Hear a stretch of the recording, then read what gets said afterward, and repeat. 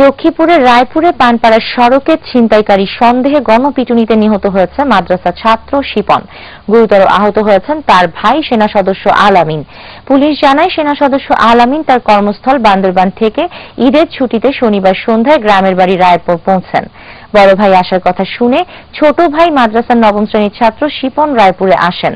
পরে দুই ভাই শনিবার রাতে নিজ গ্রাম দক্ষিণ কেরোয়া যাওয়ার জন্য রায়পুর রামগঞ্জ সড়কের পানপাড়া পৌঁছালে বিশ পঁচিশ জনের একদল গ্রামবাসী ছিনতাইকারী ছিনতাইকারী দেওয়ার পথে গুরুতর আহত হন।